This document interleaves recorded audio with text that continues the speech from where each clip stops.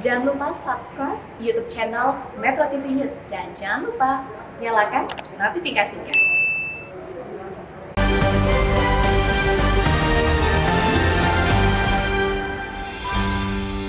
Menuju koalisi permanen.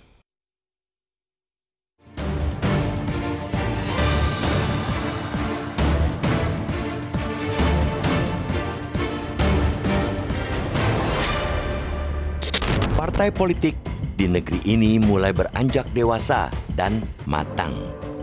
Tidak lagi main ancam dan suka mutung. Pemimpin partai sudah bisa dan terbiasa duduk bersama membicarakan kepentingan bangsa. Bisa dan terbiasa duduk bersama di antara pemimpin partai memperlihatkan kematangan berpolitik. Tidak ada lagi yang merasa hebat dan ingin menang sendiri. Tatkala para pemimpin partai bisa duduk sama rendah, muncullah keinginan membangun koalisi demi kepentingan bangsa, bukan semata-mata merebut dan mempertahankan kekuasaan. Harus jujur diakui bahwa ada kemajuan yang signifikan terkait gagasan koalisi menuju 2024. Partai politik tidak lagi malu-malu membicarakan dan menjajaki koalisi sejak dini. Tradisi koalisi selama ini dibangun mendekati batas akhir pendaftaran calon presiden dan calon wakil presiden koalisi menit-menit terakhir hanya membicarakan pembagian kekuasaan, bukan lagi membahas kemajuan bangsa. Kali ini, dua tahun menuju suksesi nasional, partai politik sudah secara terbuka membicarakan koalisi. Bukan sekadar bicara, tapi melakukan penjajakan melalui silaturahim politik. Tidak ada yang tabu dengan koalisi. Memang demikian, perlu pula diingatkan bahwa sudah saatnya membangun koalisi permanen hanya koalisi permanen yang bisa mencegah perilaku elit yang senang bersalin mitra koalisi. Dengan membangun koalisi permanen, partai-partai tidak mudah lompat pagar atau seperti angin yang mudah beralih tanpa meninggalkan jejak dan tanpa malu pula. Masalah utama yang dihadapi dan selalu berulang adalah buruknya komunikasi di antara elit politik. Koalisi adalah keniscayaan konstitusi menetapkan bahwa pasangan calon presiden dan wakil presiden diusulkan oleh partai politik atau gabungan partai politik peserta pemilihan umum sebelum pelaksanaan pemilu. Ketetapan konstitusi itu diatur secara teknis dalam Undang-Undang Pemilu. Diatur bahwa pasangan calon diusulkan oleh partai politik atau gabungan partai politik peserta pemilu yang memenuhi persyaratan perolehan kursi paling sedikit 20% dari jumlah kursi DPR atau memperoleh 25% dari suara sah secara nasional pada pemilu anggota DPR sebelumnya. Menilik manuver partai politik belakangan ini, setidaknya bisa terbentuk tiga atau empat poros pencalonan presiden. Hanya PDIP yang memiliki hak untuk mengusung pasangan calon sendiri karena memiliki 22,26 persen kursi DPR. Delapan partai lainnya di parlemen harus berkoalisi untuk mengusung pasangan capres dan cawapres. Sejauh ini, Golkar, PAN, dan P3 sudah berkomitmen bergabung dalam koalisi Indonesia Bersatu. Total kursi ketiga partai itu 25,73 persen di DPR. Masih ada lima partai parlemen dengan kekuatan kursi 50,01 persen mereka bisa saja membentuk dua poros baru lagi untuk mengusung capres di 2024. Sejauh ini belum ada koalisi permanen. Sebatas penjajakan, belum berujung mengikat perjanjian. Setelah mempunyai capres yang diusung bersama, baru dibuatkan perjanjian. Kiranya partai politik sejak dini membangun koalisi dan mengumumkan nama capres. Pengumuman dini itu lebih menguntungkan bagi pemilih karena sudah mengetahui jauh-jauh hari calon pemimpin di 2024. Jauh lebih elok lagi bila semua capres yang diusung di 2024 dimintai komitmen untuk melanjutkan pembangunan yang selama ini sudah dilakukan Presiden Joko Widodo. Jangan karena gengsi, pembangunan yang dilakukan pemimpin sebelumnya dinihilkan sehingga membangun mulai dari nol lagi. Nah,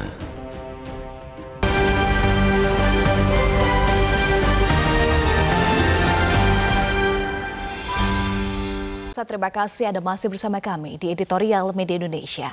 Bang Elman dan juga pemirsa saat ini kita sudah terhubung melalui sambungan telepon dengan pakar komunikasi politik Emrus Sihombing untuk membahas lebih lanjut ya. Selamat pagi Pak Emrus, salam sehat Pak. Salam sehat, selamat pagi Mbak Eva, selamat pagi Bang Elman. Baik, pagi. Pak Emrus, komunikasi politik intens dilakukan partai politik ya, dua tahun jelang pemilu 2024. Apakah artinya peta koalisi Pilpres atau arah koalisi permanen ini sudah bisa tergambar atau terbaca, Pak Emrus? Baik, saya pikir kalau permanen atau terbaca belum karena ini masih tahap uh, penjajakan antar partai politik. Dan ketika mereka melakukan komunikasi politik antar ketua partai politik, ini mempertemukan kepentingan dan perjuangan politik ketika nanti pilpres yang akan datang.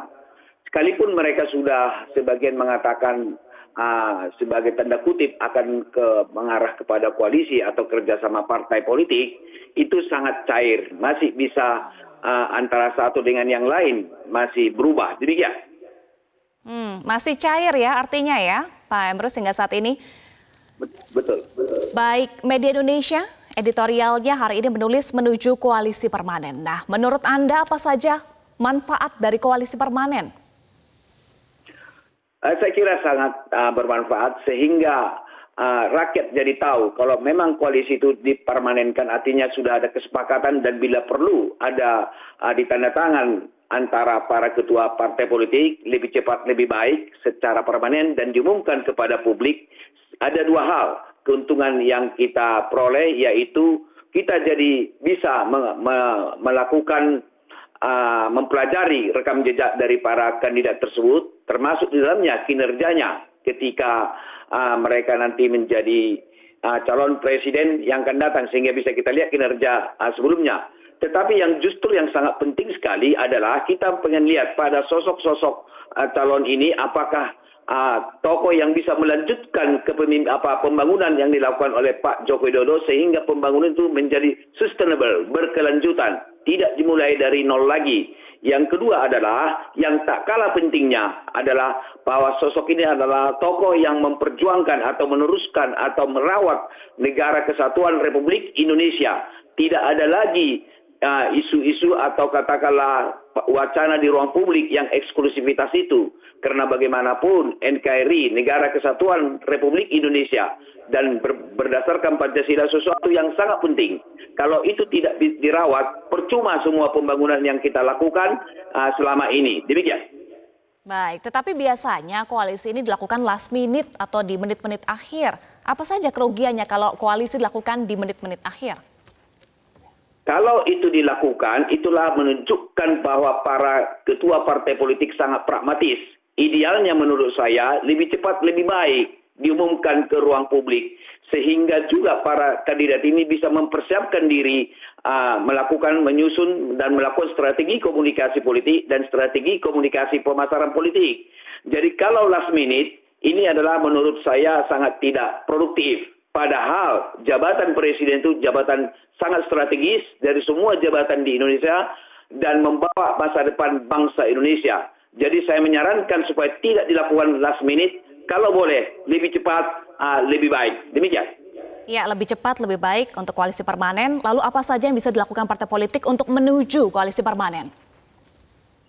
Saya kira sangat sederhana kalau mereka mau, yaitu adalah orientasinya adalah untuk bangsa dan negara, orientasinya adalah untuk pembangunan, orientasinya adalah untuk menawarkan program uh, uh, yang akan dibawakan, bukan orientasi pada kalah menang. Di dalam suatu kontestasi politik, kalah menang bukanlah sesuatu yang utama. Karena yang terpenting bagi rakyat adalah program apa yang ditawarkan kepada rakyat sehingga bisa meningkatkan kesejahteraan tersebut.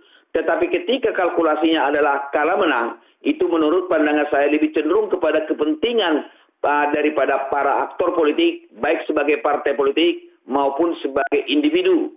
Untuk itulah supaya para uh, tokoh-tokoh uh, partai politik kita orientasi kepada program yang akan ditawarkan, tidak kalkulasi uh, kalah menang. Misalnya, kalau partai atau uh, koalisi lain memasang ini, saya akan pasang ini. Ibarat seperti orang main catur. Bagaimana memenangkan permainan catur itu tanpa uh, memperhatikan mana yang ber, yang sangat penting bagi masyarakat. Demikian. Baik. Baik, Pak Emrus, meskipun Anda sampaikan saat ini masih sangat cair ya, tetapi prediksi Anda berapa koalisi permanen yang bisa terbentuk pada pemilu tahun 2024? Dari interaksi komunikasi yang intens dilakukan oleh para partai politik, saya melihat ada tiga uh, uh, pasangan paslon yang akan datang uh, untuk di, di, dibawa pada calon presiden yang akan datang. Uh, karena saya melihat ada semacam uh, Uh, kekuatan-kekuatan politik yang semakin mengkristal sehingga uh, dia akan minimal tiga tetapi kalau boleh saya menyarankan sudah satukan saja semua para partai politik menjadi dua kandidat supaya dua pasang kandidat maksud saya supaya satu putaran bisa selesai tetapi itu mereka bisa melakukan negosiasi dan kompromi politik di panggung belakang kalau uh, dua putaran yang terjadi dengan tiga pasang itu kan kos politik yang kita keluarkan bangsa ini saya kira sangat banyak sekali dan kemudian berpeluang uh, salah satu kandidat sebagai nanti kalau kalah bisa mengarahkan dukungannya kepada uh, dua kandidat putaran kedua uh, langsung atau tidak langsung. Nah ini saya kira sangat tidak produktif. Produktif. Sebaiknya mereka berkompromi saja dengan dua pasang sehingga kita satu putaran. Demikian. Baik. Terima kasih pakar komunikasi politik Emrus Hyoming sudah bergabung bersama kami di editorial Media Indonesia. Salam sehat Pak Emrus. Ya Bang Elman tadi kita sudah simak ya. Tadi Pak Emrus menyatakan koalisi permanen itu positif, lebih cepat, lebih baik ya. Tanggapannya ya. Bang Elman? Ya, udah pastilah lebih bagus, hmm. lebih awal ya. Ya. Setidaknya kan rakyat juga tidak akan menebak-nebak seperti kucing dalam karung kan. Hmm. Jelas warnanya. Ya. Sehingga dan rakyat juga akan jauh-jauh hari sudah akan bisa menentukan, memilah-milah. Hmm. Ini cocok, tidak cocok, kurang cocok dan sebagainya. Hmm. Kedua juga paling tidak kesan kita kalau jauh-jauh hari mereka memang sengaja menentukan koalisi dari awal karena mereka sudah punya target untuk membangun bangsa kan gitu kan. Ya. Ya, orientasinya adalah orientasinya untuk membangun bangsa dan kan. negara. Hmm. Dan harapan kita memang orientasinya adalah pro rakyat. Iya, ya.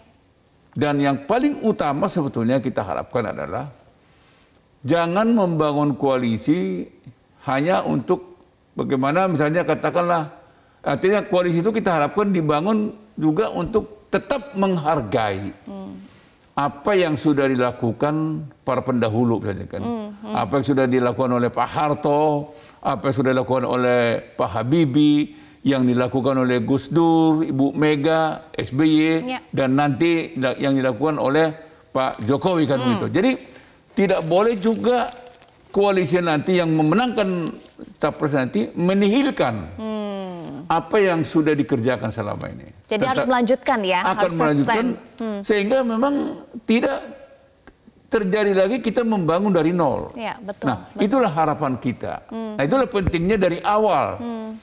Tapi kalau di menit-menit terakhir, nah ini yang kita ragukan. Nah, gitu. tadi sampaikan kalau di menit-menit terakhir ini menunjukkan pragmatisme pragmatis. Bang Elman. Sependapat Bang Elman dengan pernyataan tadi Pak Betul Agus. itu. Hmm? Sangat pragmatis karena mereka memang orientasinya merebut kekuasaan aja. Hmm. Orientasinya ya bagi-bagi kekuasaan dan dan itu berbahaya. Hmm. Apa saja bahayanya Bang Elman? Ya, artinya rakyat tidak akan mendapat apa-apa. Hmm yang akan mendapatkan apa-apa hanya mereka saja kan. Ada kepuasan apa namanya itu berahi aja itu kan. Hmm, hmm. Tapi kan sebetulnya kan pemilu itu itu kan untuk menentukan arah bangsa ke depan. Betul. Arah yang bagaimana? Arah yang untuk memajukan bangsa ini. Hmm. Itulah harapan kita. Hmm. Kalau kita lihat negara-negara lain kan, dari tahun ke tahun, dari periode ke periode kan semakin maju, semakin bagus dan seterusnya. Hmm. Kita ini kan sering kali mandek lagi gitu kan. Ya, ya. Nah, itulah sebabnya kita sangat mensyukuri ya, mengapresiasi pertemuan-pertemuan hmm. yang cair antar pimpinan partai yang dimulai beberapa waktu yang lalu ya. Hmm, hmm. Hilir mudik mereka dan jangan politik semakin ya, intens ya. Bagus juga begini, jangan dulu ditentukan hmm. sambil penjajakan dulu. Hmm. PDKT Maka, dulu nih Bang ya. Iya, pendekatan. Dan itu sebabnya kalau saya mengatakan ini belum belum belum pasti ini siapa hmm. dengan siapa. Hmm. Walaupun sudah ada KIB ya. ya. itu juga belum tentu juga. Jangan-jangan besok berubah lagi tuh kan gitu kan. Hmm. Kita kan nggak tahu. Hmm. Jadi makanya tadi kalau misalnya Mbak Eva tanya kepada Emrus itu itu katakanlah kalau bahasa sederhananya berapa pasang kan gitu kan. Yeah. Uh, porosnya berapa ini kan. Hmm, hmm. Memang sekarang yang terlihat kan tiga udah ada bayangan kan. Hmm. Sudah tiga. mulai tergambar ya. Nah, sudah gambar ada tiga. Hmm. Tapi bukan tidak mungkin empat. Hmm, masih terbuka peluang. Masih terbuka peluang. Hmm, masih sangat cair, masih sangat terbuka peluangnya seperti yang Pak Elman sampaikan, tetapi perlu adanya koalisi permanen. Tentu ini juga butuh komitmen dari partai politik untuk Betul, membangun harus ada. Hmm. Jadi supaya apa? Jadi jangan koalisi itu nanti terkesan katakanlah kayak apa kayak pakaian.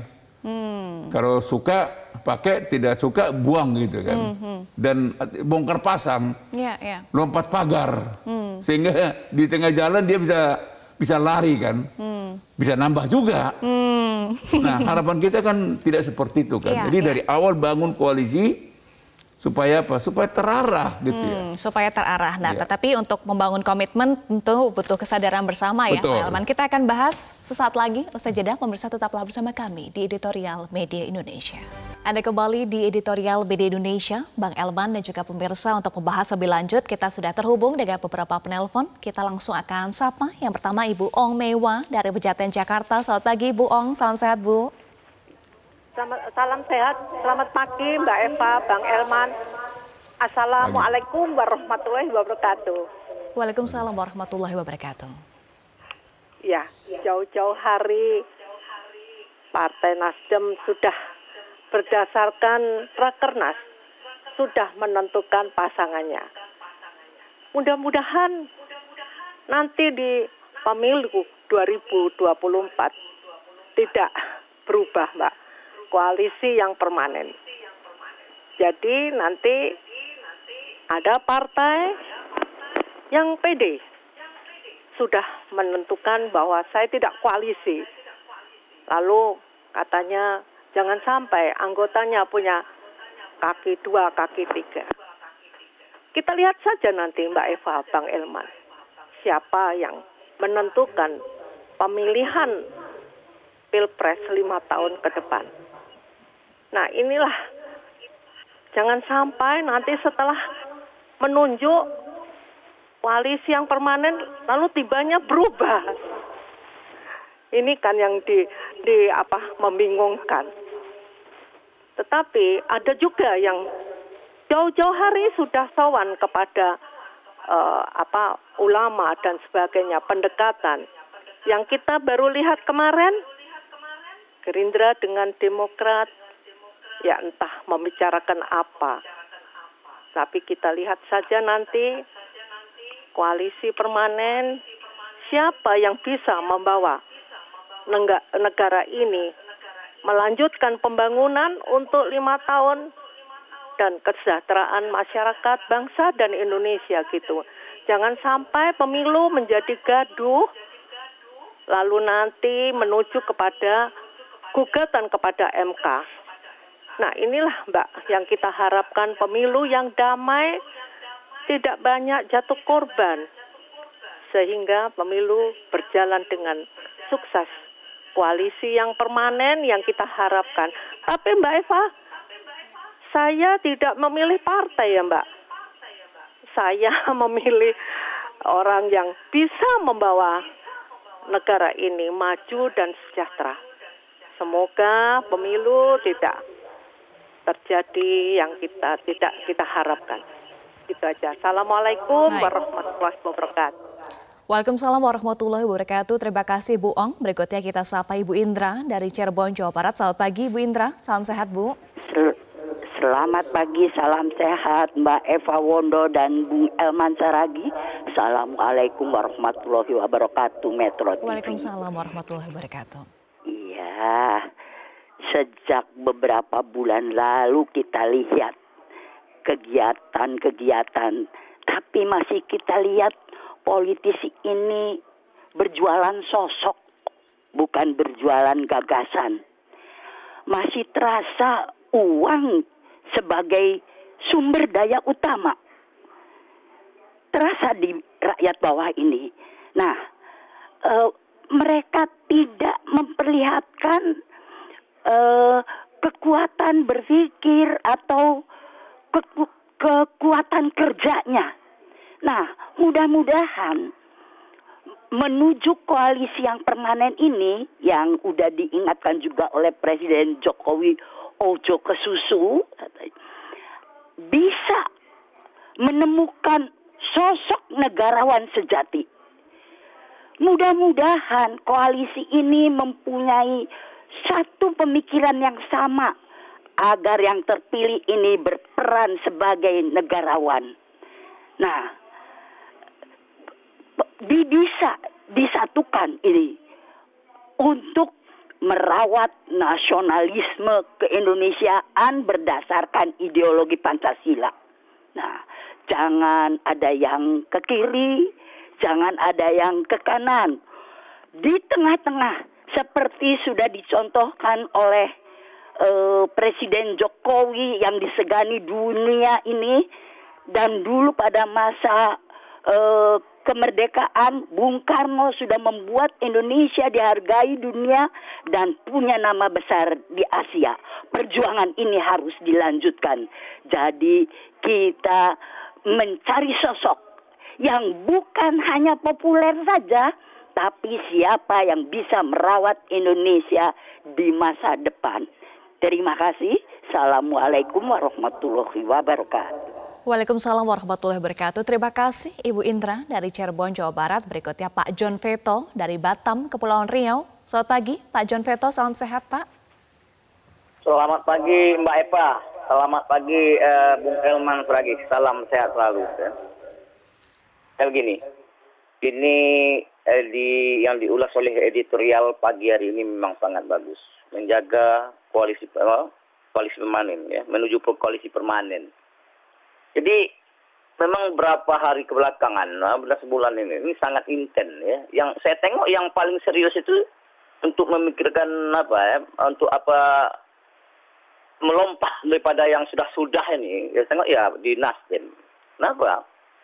Eh, Nasdem ini eh, setelah dia rakernas, dia intens melakukan silaturahmi politik namanya dengan PKS, dengan Demokrat, dengan apa? Artinya uh, udah udah berubah cara apa dia udah berubah cara pola pola pikir dia uh, ya mungkin Pak Surya Paloh ya punya catatan khusus mungkin uh, pemilihan-pemilihan presiden yang kebelakangan yang sudah-sudah jadi dia punya apa punya gagasan besar gitu membuat uh, koalisi permanen agar bagaimana Republik Indonesia ini keutuhannya depannya itu betul-betul uh, mantap, betul-betul terjaga, NKRI itu betul-betul terjamin keutuhannya.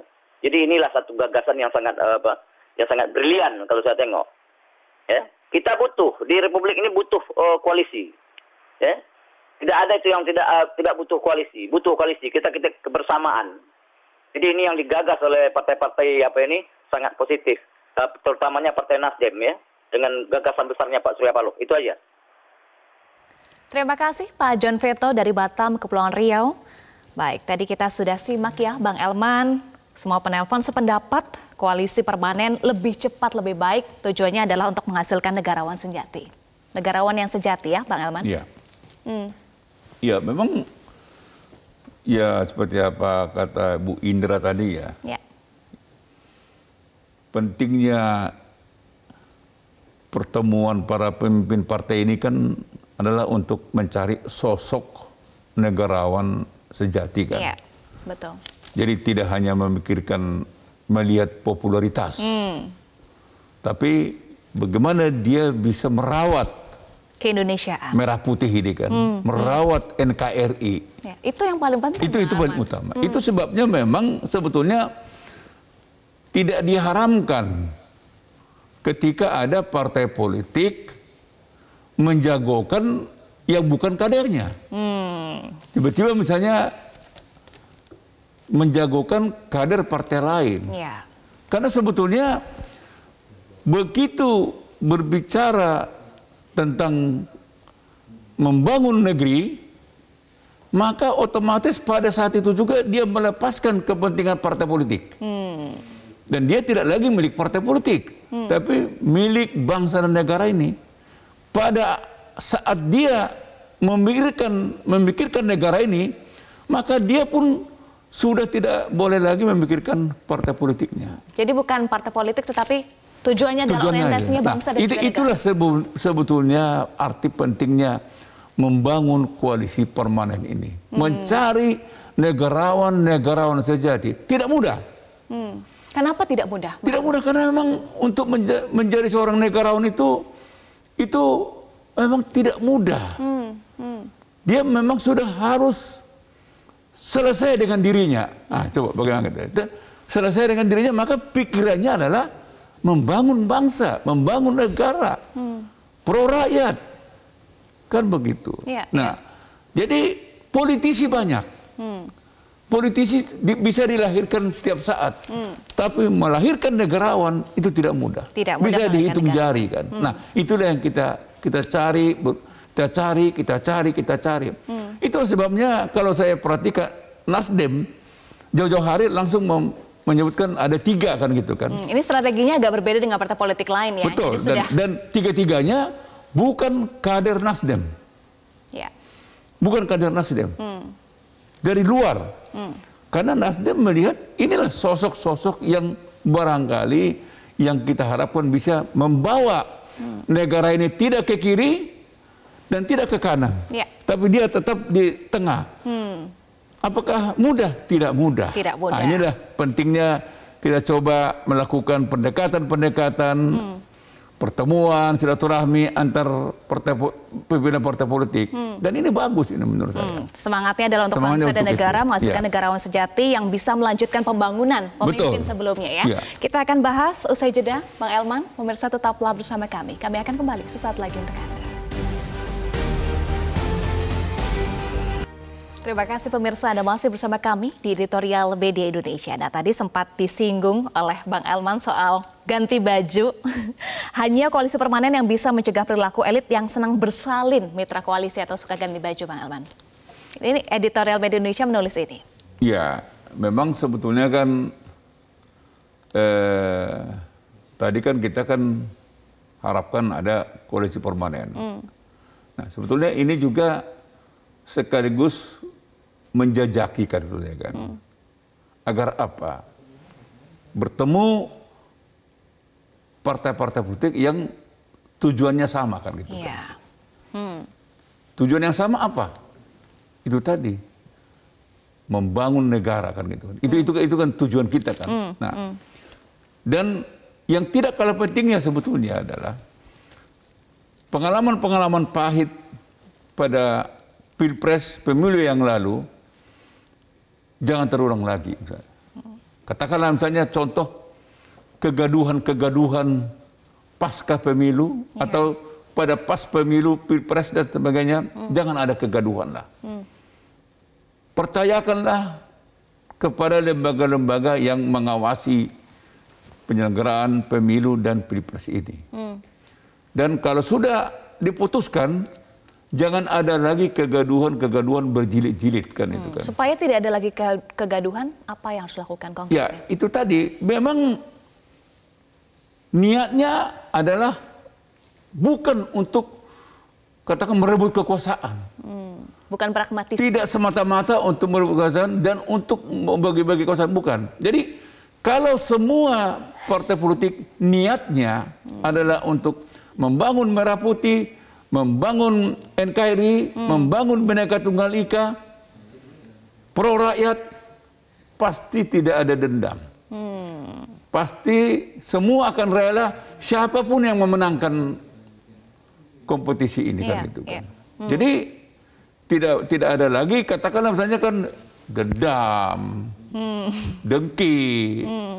Begitu selesai pemilu, maka sekarang kita sama-sama bangsa Indonesia sama-sama membangun tidak jadi yang menang kita hormati, iya. yang kalah kita wongke dan sebagainya gitu. Harus sportif ya. Harus sportif. Jadi hmm. nah inilah hmm. sebetulnya harapan kita ketika para pemimpin-pemimpin partai ini bersilaturahmi sekaligus juga diperbincangkan. Hmm. Bagaimana kita membuat pemilu Pilpres 2014 uh, 2024 nanti adalah Pilpres yang betul-betul damai, hmm. teduh, dingin. Ya, itu harapan kita. Itu, itu harapan kita. Hmm. Jadi jangan hanya mereka bicarakan bagaimana kalau kita gabung, nah berapa ke, apa berapa menteri dan sebagainya gitu. Hmm. Ya mestinya jangan. Kalau itu itu otomatis lah. Tapi harapan kita pertemuan mereka yang ber, ber, saling ber, saling mengunjungi, saling mendatangi. Intinya tadi para pemirsa juga berharap mereka hanya membicarakan tentang Bagaimana untuk mensejahterakan rakyat? Bagaimana supaya semua partai politik, elit-elit partai politik punya kesadaran yang bersama, kesadaran ya, bersama untuk tujuan itu, Bang Alman? Ya nggak tidak mudah. Makanya kita harapkan sebetulnya para pemimpin politik, pemimpin partai politik juga harus menjadi negarawan-negarawan. Hmm. Tidak boleh cengeng juga gitu ya. Hmm. Jadi tidak boleh saling katakanlah mencederai, ya. saling katakanlah saling membenci. Hmm. Jadi memang ketika membangun partai, hmm. ya tujuannya adalah bagaimana supaya baga mengelola negara ini lebih bagus kan. Ya. Karena undang-undangnya kan harus dari partai politik. Hmm. Jadi setiap partai politik itu mestinya bagaimana bisa dia menghasilkan kader-kader terbaik untuk bangsa kan gitu kan. Hmm. Hmm. Hmm. Nah inilah yang dipertemukan. Ya. Nah inilah makanya kita harapkan koalisi yang sedang mereka bahas yang sedang bangun ini bukanlah koalisi hanya untuk membicarakan tentang kepentingan. Hmm. Karena konon katanya hmm. tidak ada koalisi permanen. Hmm. Yang ada adalah kepentingan, kepentingan yang sendiri. permanen. Nah, hmm. ini ini ini ini ini kan ini inilah sebetulnya yang harus dicegah. Hmm. Harus diklirkan harus ya, ini. Hmm. Jangan hanya kepentingan mereka aja yang dipermanenkan. Ya, ya, ya. Tapi bagaimana kita menjaga kepentingan rakyat, kepentingan bangsa ini hmm. menjadi di atas segala-galanya. Baik, jadi koalisi permanen itu menguntungkan masyarakat Pasti. karena bisa lebih tahu lebih awal rekam jejak dan sebetulnya menguntungkan partai politik itu sendiri ya, Pak ya, Aman? Sebetulnya, sebetulnya kan semua yang yang punya kepentingan bisa diwujudkan di sana. Hmm. Jadi tidak hanya menguntungkan rakyat, ya. tapi menguntungkan semua. Hmm. Semua diuntungkan kok. Hmm. Kalau rakyat diuntungkan ya, ya pasti semua diuntungkan gitu kan. Ya. Nah, ya. makanya saya sih sangat setuju ya. Hmm. Artinya kunjungan mereka dari hari ke hari, ya seperti tadi malam misalnya hmm. Gerindra dengan apa Demokrat, sebelumnya Nasdem dengan Demokrat, Nasdem dengan PKS. Ya Gerindra dengan PKB. Hmm.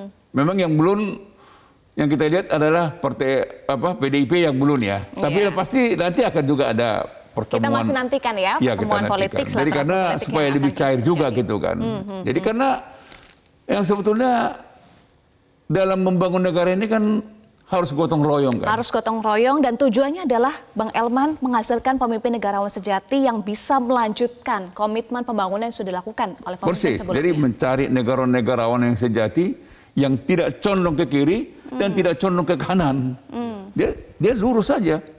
Merah putih, NKRI, Bhinneka Tunggal Ika.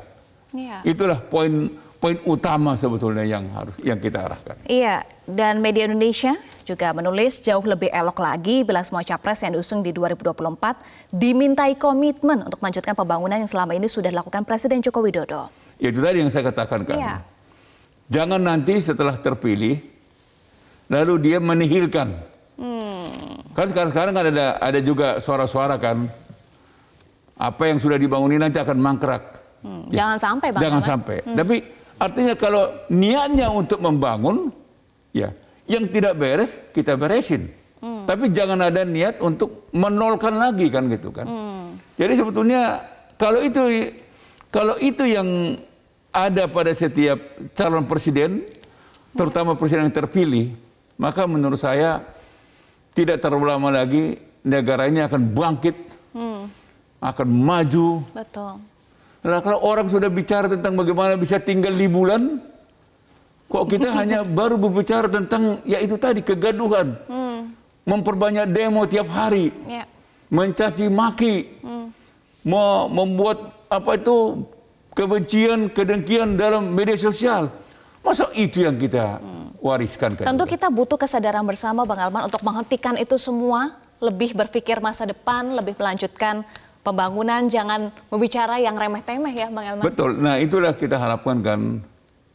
Harapan kita ke depan kita harus lebih banyak lagi melahirkan negarawan-negarawan, bukan hanya mampu melahirkan politisi-politisi. Hmm. Tapi kita lahirkanlah negarawan-negarawan supaya negara kita ini jauh lebih maju lagi kan gitu. Hmm. Kita sebenarnya sangat malu ya kalau kita bandingkan dengan negara yang sudah maju ya. Mereka tidak lagi tidak lagi membahas apa yang kita bahas keseharian di Indonesia ini. Ya. Jadi saya tidak mau ngomong terbuka apa yang kita kita apa ya kita hmm. kita masalahkan kan. Ya. Kalau negara lain tidak lagi memasalahkan itu. Sudah selesai. Sudah selesai itu. Hmm. Hmm. Dia sekarang bagaimana supaya katakanlah rakyat ini lebih sejahtera. Setiap kali ada musim libur dia liburan ke mana-mana. Hmm. Kalau kita mana pernah sempat kita membicarakan tentang tahun depan akhir tahun ini kita liburan ke mana. nah harapan kita sosok presiden yang akan terpilih 2024 adalah sosok yang betul-betul pikiran dan tenaga yang ada pada dirinya dipersembahkan untuk memikirkan ya. Nasib rakyat kita. Ya kita-kita juga, Amin. Eva. Ya, kita harapkan bersama ya Bang Elman bahwa menuju koalisi permanen dengan koalisi permanen kita harapkan bisa melahirkan negarawan yang betul-betul orientasinya adalah untuk bangsa dan juga yang negara. Yang penting jangan ke kiri, Jangan ke kanan. Iya, jangan ke kiri, jangan ke kanan. Baik, terima kasih Bang Elman Saragi sudah bergabung bersama kami di Editorial Media Indonesia. Salam sehat selalu, Bang Elman. Pemirsa kiranya partai politik sejak dini membangun koalisi dan mengumumkan nama capres. Pengumuman dini itu lebih menguntungkan bagi pemilih karena sudah mengetahui jauh-jauh hari calon pemimpin di tahun 2024 mendatang. Jauh lebih elok lagi bila semua capres yang diusung di 2024 dimintai komitmen untuk melanjutkan pembangunan yang selama ini sudah dilakukan Presiden Joko Widodo. Jangan karena gengsi pembangunan dilakukan pemimpin sebelumnya dinihilkan sehingga membangun mulai dari nol lagi. Pemirsa kami selalu ingatkan Anda untuk tetap patuhi protokol kesehatan dan terima kasih sudah menyaksikan editorial Media Indonesia. Selamat pagi, sampai jumpa dan salam sehat.